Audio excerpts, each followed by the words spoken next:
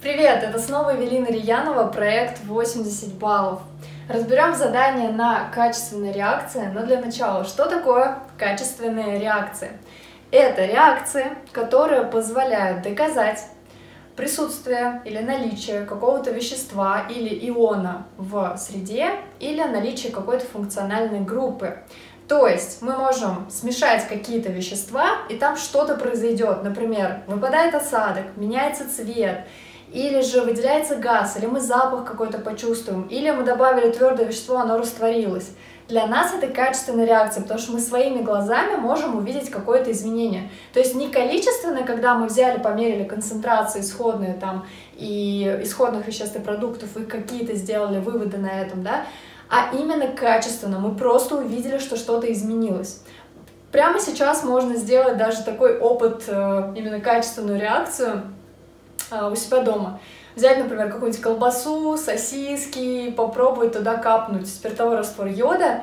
Сам спиртовой раствор йода, он такого бурого цвета, такого коричневенького. И если капнуть его на колбасу, там сосиски, если они посинеют, значит там есть крахмал, да, значит там даже мельчайшее количество крахмала а, покажет. Потому что качественная реакция на крахмал, это углевод, это взаимодействие как раз с спиртовым раствором йода. Или же можно, например, взять картошку и капнуть на картошку этот спиртовой раствор йода. Там точно 100% посинеет, потому что ну, в картофеле точно есть крахмал, а вот в колбасе сосисках хорошо было бы, чтобы там не было крахмала, а было только мясо. Но мы перейдем к нашему заданию. Значит, здесь нам даны вещества. То есть мы представляем, что в одной пробирке у нас находится хлорид ртути.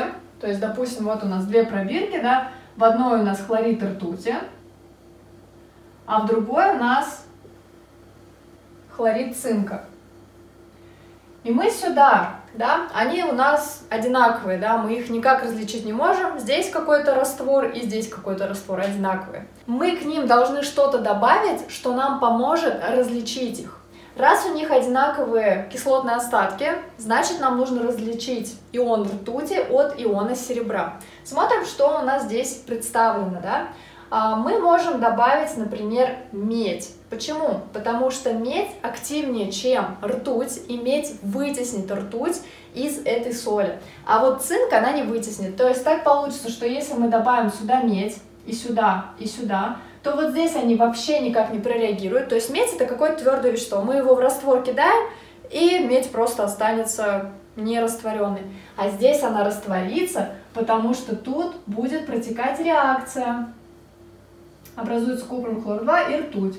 При этом мы будем видеть именно изменение цвета, потому что ртуть она красного цвета, и будет оса... Ой, э, медь она красного цвета, и ртуть здесь осаждается, то есть будет меняться цвет, и при этом мы увидим вообще, в принципе, растворение меди для начала. Поэтому здесь будет правильный вариант второй.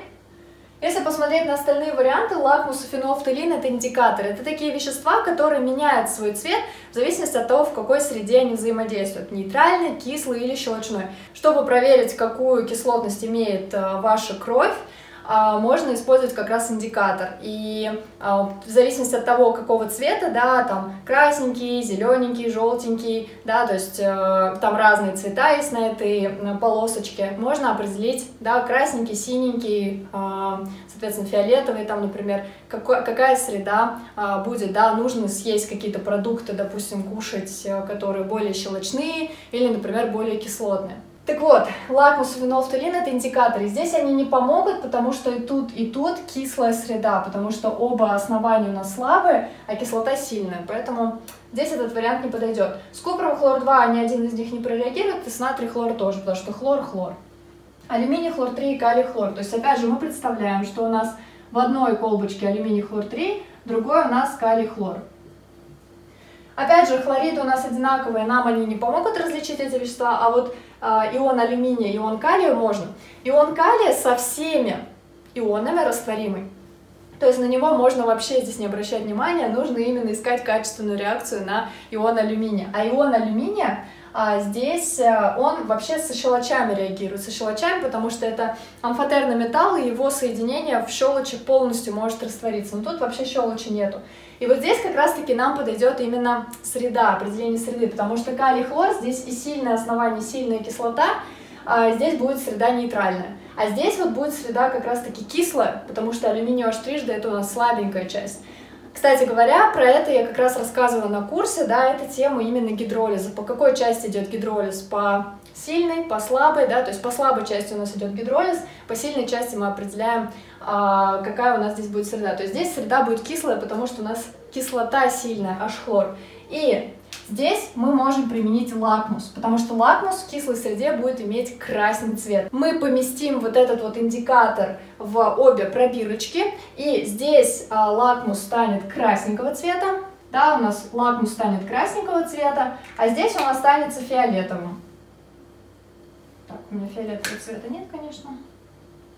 А здесь он останется фиолетовым, потому что э, среда здесь еще э, нейтральная. Фенолфталин почему не подходит, хотя это тоже индикатор. Фенолфталин это индикатор только на щелочную среду. То есть кислый и нейтральной среде он бесцветный, он не показывает там никакую окраску.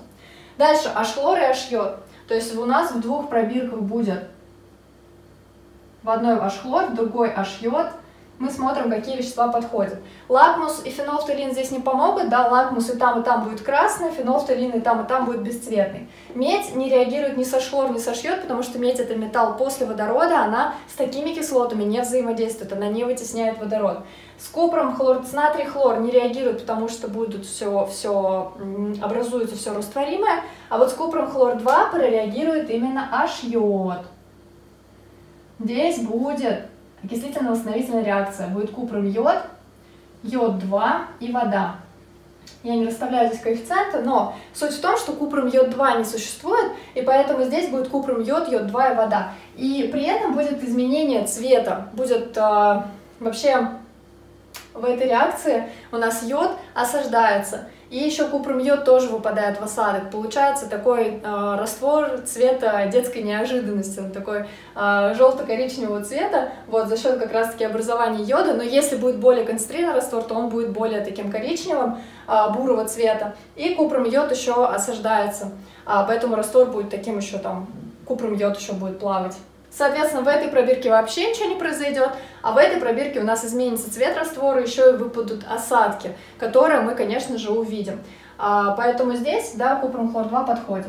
И последнее, HNO3 и H2SO4, две кислоты, только HNO3 э, и разбавленная концентрированная это кислота-окислитель, а серная кислота, она э, разбавленная не кислота-окислитель, поэтому вот здесь смело можно выбирать как раз-таки медь, потому что медь с серной разбавленной реагировать не будет, потому что, опять же, она вот почему со хлор и со шьет не реагирует, потому что она находится после водорода в электрохимическом ряду напряжения, и вот с такими кислотами реагировать не может, только с кислотными окислителями, например, вот с азотной кислотой с разбавленной концентрированной, да, если к меди добавить азотную кислоту, то образуется нитрат меди, если это концентрированная кислота, то будет NO2, если это разбавленная, то NO и водичку. Правильный ответ здесь будет 2, 1, 3, 2. И на курсе, когда мы рассматриваем каждый элемент, металлы, не металлы, то обязательно отмечаем, какие качественные реакции существуют на этот ион или на это вещество, на газы, например, да, тоже есть свои качественные реакции, потому что это на практике применимо, это очень важно, это в плане экспериментальной какой-то части очень важно, ну и, конечно же, в заданиях, да, например, во второй части в описании, допустим, и в задачках, и в задании на взаимосвязь неорганических веществ дают много подсказок, например, что там выпал осадок красного цвета, или, например, там выделился газ, то есть это все качественная реакция, и мы их все проходим на курсе, поэтому если тебе понравилось видео, то подписывайся на мой инстаграм Эви Репетитор и переходи на сайт 80 баллов, где ты можешь пройти курс от и до, изучить химические свойства неорганических веществ, органических веществ, ведь качественные реакции встречаются не только в неорганике, но их очень много в органической химии. И, конечно же, мы будем не только изучать теорию, но практиковаться на актуальных заданиях ЕГЭ. Удачи тебе и встретимся в следующих видео.